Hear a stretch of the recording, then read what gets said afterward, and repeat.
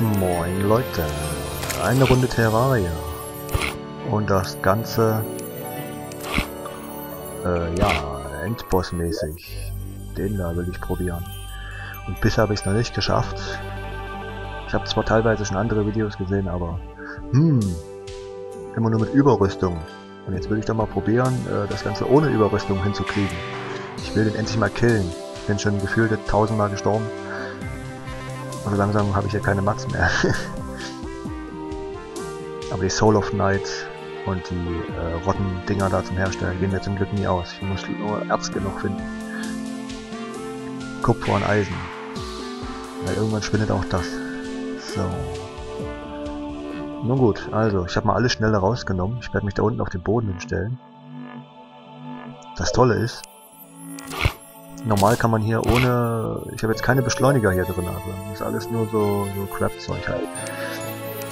Normal kann man hochspringen, bloß sobald man im Fight ist, kann man scheinbar eine Stufe weniger springen. Deswegen habe ich hier unten halt nochmal zwei extra Reihen dazu gemacht, dass ich zur Not auch mal ausweichen kann, falls der Boden genau über den Boden lang schreddert.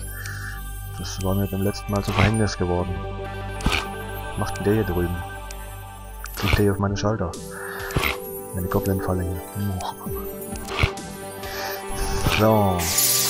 Ja, ich werde die Waffe nehmen, die hier oben ist. Ähm, dieses Buch. Dämonisches irgendwas. Und dann macht man diese Kreise hier, kennt man ja aus der Höllenwelt. Die dauern zwar relativ lang, gehen aber durch alles durch. Die ist auch nett, macht auch schönen Schaden. Allerdings, ja, sobald man auf den Gegner stößt, ist dieses komische Zeug, was da immer da raussprüht, ist es kaputt, also weg. Und das geht halt durch alles durch. Durch alle Gegner meine ich. Man muss halt mit jedem einzelnen Kreis, den man macht, einen Mausklick machen. Also ich mache hier ständig äh, klick, klick, klick, klick, klick. Und dann irgendwie, ja. Schaden zu machen. Jetzt fiel mir das blöde Wort nicht ein. So, ja, ich habe 300 Mana, 400 Leben. Wie gesagt, ich bin auf Magie gegangen. Das Ding hier finde ich ganz interessant. Fallen Sterne runter, wenn ich Schaden bekomme und da ich das in dem Kampf ja ständig habe. Vielleicht nicht schlecht, um den Bosskampf etwas zu beschleunigen. Ich habe aber keine Ahnung, was die Stats äh, für einen Sinn haben. Ob man mehr auf Schaden gehen sollte, mehr auf Verteidigung. Hm, keine Ahnung. Das Ding habe ich vor kurzem gefunden. Ähm, das ist ganz interessant. Man wird dafür ein, zwei Sekunden oder so scheinbar immun. Das heißt, wenn der Boss mal durch mich durch äh, rattert, dann kriege ich halt nicht dauerhaft Schaden, sondern immer nur in bestimmten Abständen. Und das ist ganz wichtig. Ja, und Tränken, das hier oben halt. Wenn noch was anderes sinnvoll ist, dann sagt Bescheid. Ich habe keine Ahnung, was gut oder schlecht ist. Aber ich denke mal, das ist schon das, was man nehmen kann. Ja. Dann kann es eigentlich auch langsam Nacht werden. Ich bin mal mega schnell hier, wie ihr das hier seht. Also da irgendwas auszuweichen wird relativ schwierig. Aber dafür habe ich ja den Geschwindigkeitstrank. Das macht es schon ein bisschen schneller und mehr brauche ich ja nicht. Ich will ja nur ausweichen. Den Rest mache ich dann hier so mit Dauerfeuer hier unten. Falls ihr auf dem grünen Acker oder hier auf diesem blauen Acker rum äh, kämpft, dann möglichst schon mal einen Pilz ins Inventar nehmen und den in die unterste Ecke stellen. Und wenn man die Heilung drückt, geht es immer nach der obersten Reihe nach unten.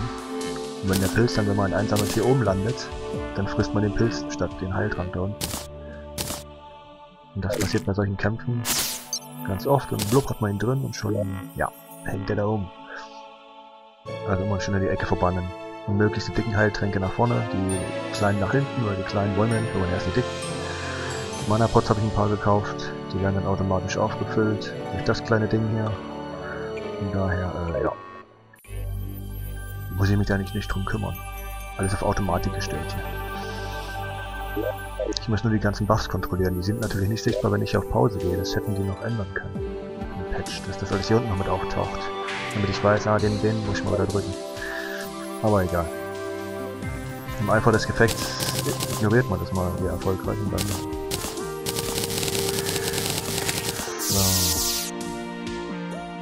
Komm, Sonne, geh unter.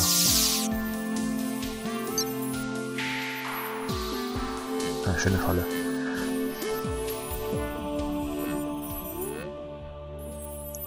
Ja, was gibt's noch zu sagen? Na, ich wüsste eigentlich nicht gerade was. Ich habe schon mal mit äh, Bögen probiert oder mit Schusswaffen. Schusswaffe habe ich leider nur die kleine hier. Und das hatte ich dann gar keinen Schaden.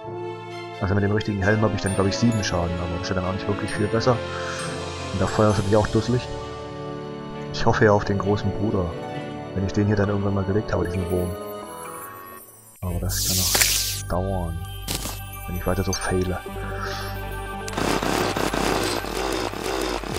So, was brauche ich denn? Ich brauche das Ding schon mal nicht. Damit. Das heißt, den stelle ich mal hier vor. Der Schaden hält ganze zwei Minuten an, das finde ich voll fies. Das läuft so schnell aus und dann sieht man es nicht rechtzeitig und schon ist vorbei. Tja, dann werde ich nach der Reihenfolge mal am besten. Heilung ist ganz wichtig, Verteidigung natürlich auch, Speed auch, der eher weniger, aber der hält ganze 10 Minuten. Den Wurm hänge ich hier hinten drauf. Ja, und dann werde ich das hier so einnehmen. Oh fuck. Na egal. Hab genug. ja, und diese kleinen Buffs hier. Ähm, ja. Die laufen halt sehr schnell aus. Und wenn man da nicht ständig hinguckt, ich merke mal die Symbole auch nicht, welcher was gehört. Ich meine, der ist jetzt eindeutig lila äh, Stern oder was zu dem da. Aber egal. Nein, geh weg.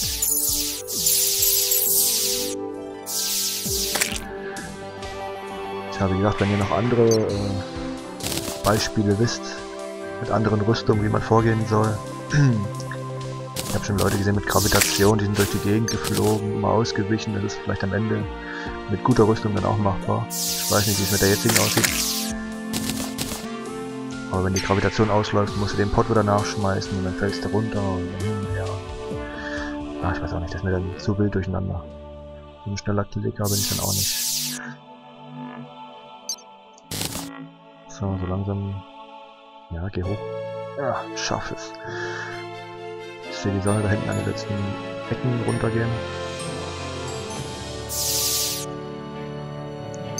Ja, die Zeit geht auch schnell vorbei. Und das Dumme ist, genau solche Objekte rasen natürlich dann auch in der Nacht. Äh, durch die Gegend nerven.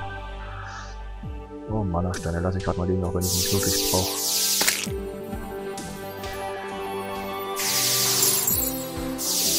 Komm, werd Nacht. Komme ich eh nicht. Egal, ich habe noch Mana an Bord, dürfte reichen.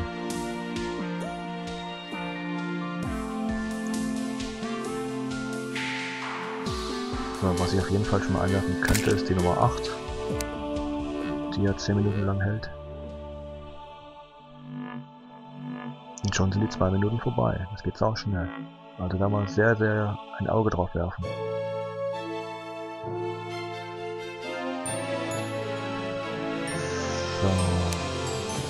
Nee, nicht Blood Moon is Rising. Das habe ich jetzt gebraucht. Na toll. Wenn ich jetzt den Boss hole, fälle ich absolut. Na gut, dann bis zum nächsten Mal. So, dann wollen wir es doch nochmal probieren. Den setzen wir da rein. Mana-Tränke und Heiltränke habe ich noch auf der richtigen Position. Die Rüstung stimmt diesmal auch sofort. Und ja. Dann kann das Sterben ja kommen. So, die Nummer 8 nehmen wir als erstes. Der hielt 4 Minuten, der 5er, der 5er, der wieder 2. Okay.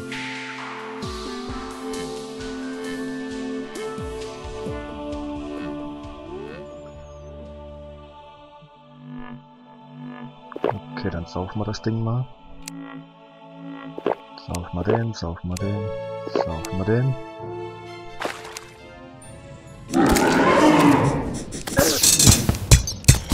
Oh, falsche Waffe.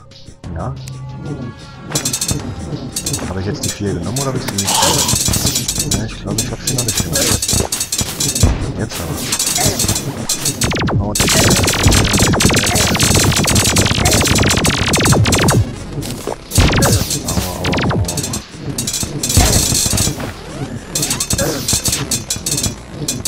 Kommt mal her, ihr fiesen Viecher.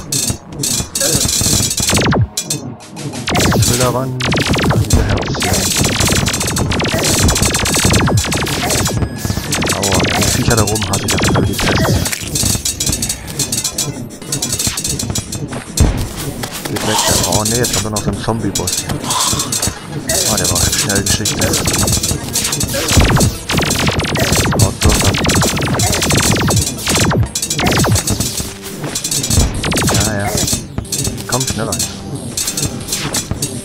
Boah, hier ist der mit der Zauber ohne Ende. Ich hab langsam keine Energie mehr.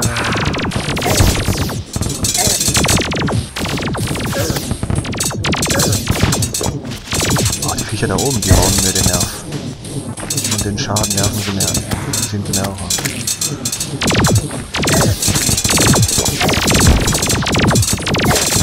Oh, die dicken auch noch. Die sind mir so mega wichtig. Wieder weg. Warum geben die mir keine Herzchen? Oh. Oh, das nervt da oben, Mann. Das ist immer nervig.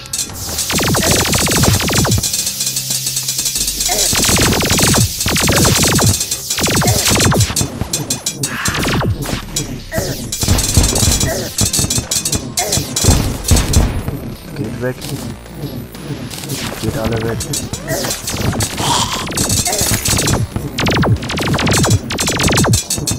Ich will noch nicht sterben. Jetzt kann man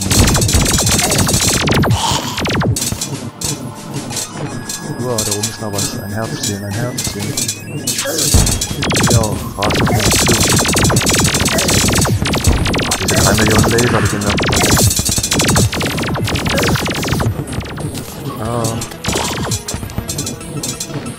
Geht alle weg. Wow. Schnell mal einen Zaubertrank gesoffen, der das bisschen mehr Schaden macht. Wow. Vorbeinigung. Wow. Will nicht sterben, ich will nicht sterben. Nicht jetzt. Geht alle weg. Geil. Geil, ich hab's geschafft. Oh. Geht alle weg. Nein, nein, ich will nicht sterben. Ich will nicht, nicht sterben. Nein, nein. Schnell weg. Erstmal weg. Alter Schwede, was ein Vieh. Ja, so kann's gehen. Äh, äh, äh. Mein Herz rast. Jo. hat geklappt. Na, dann werde ich gleich mal schauen, was der Loot gegeben hat. Erstmal müssen wir uns hier mal ein bisschen heilen. Nehmen wir uns mal wieder die richtige Rüstung her. Und dann klappt das hoffentlich. So, was haben wir noch? Den hier. Den stecken wir mal hier rein. Heilung ist halt nicht mehr ganz so wichtig. Den verstecken wir gleich mal im Schwein. Und ab geht's. Oh Gott, ist hier viel los. Die wollen mich alle am Looten hindern, kann das sein? Hau bloß ab. Yeah. Boah, hammermäßig geil. So, wo ist der Loot? Kein Loot da. Oder habe ich den schon eingesackt? Den Hut war von einem komischen Mini-Boss. Das Ding war von so einem kleinen Zombie. Hm, ist der Loot unterirdisch gelandet irgendwo? Ich vermute es fast. Ich werde das hier oben mal sammeln.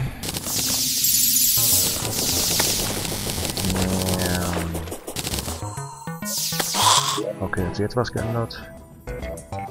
Nicht wirklich. Ab. Dann kann es ja nur irgendwo unterirdisch sein, oder?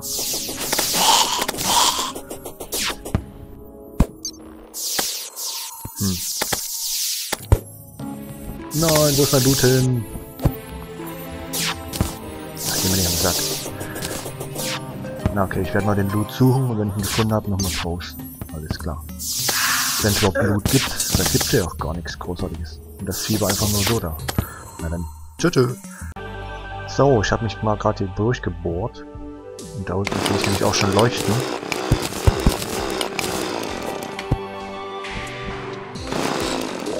Und dann können wir das mal schön... Mit Loot denn? Oh, ein Kaktus. Mitten unter uns. Ist ja sehr nice. Kann ich gerade gebrauchen.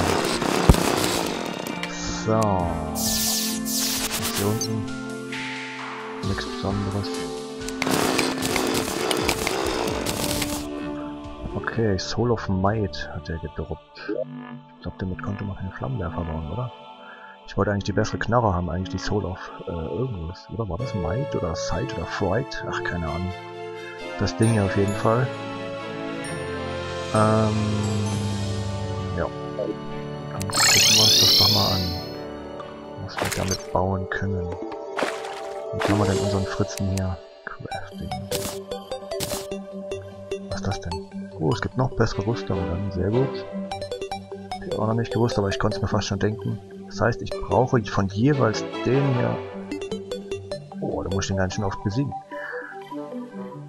15 Defense. Ja, 14 gut, der eine da halt. Was ist das denn? Okay, man braucht alle Dinger hier dafür. Und dann hat man so ein Mega-Ding, was eine Axt kann, was ein Hammer kann und was eine Axt, äh, eine Pickaxe kann. Cool. Excalibur? Naja, werde ich mir nicht holen. Das Ding, deswegen ist mir wichtig. Was ist das denn hier? Sieht mir aus wie so ein Bumerang. Also, die Funktion ähnlich, aber das Ding hier mit den 25 Schaden. Schön viel, was da rauskommt und ja, er verbraucht nur 50% weniger. Statt 33% Chance. Na wunderbar, dann hat sich das ja hier erfüllt. Weil mehr brauche ich nicht. Das Zeug habe ich beisammen, das auch. Die kleine habe ich auch. Und das habe ich. Gut, gut. Tschüss, tschüss.